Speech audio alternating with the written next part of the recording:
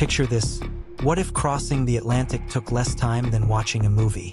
Breakfast in New York, lunch in London, and dinner back home the same day.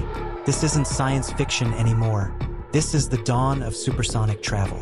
For decades, the dream of supersonic passenger jets was symbolized by the Concorde.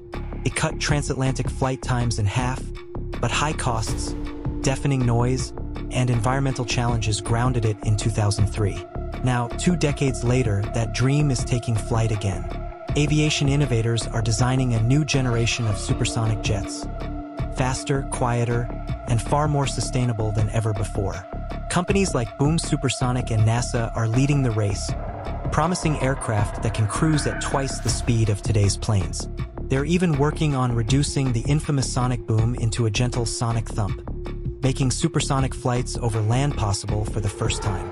But this is about more than speed. Supersonic travel could transform global connectivity. Imagine business leaders meeting across continents in a single day, families reuniting across oceans without days of planning, and tourism opening doors to destinations once thought too far away. Of course, challenges remain.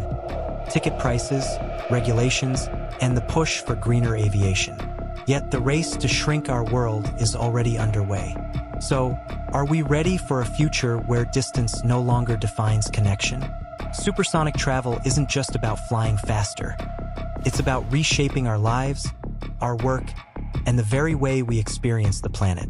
What do you think? Will these jets really bring the world closer?